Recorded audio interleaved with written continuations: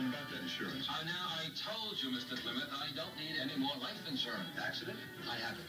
Health. That too.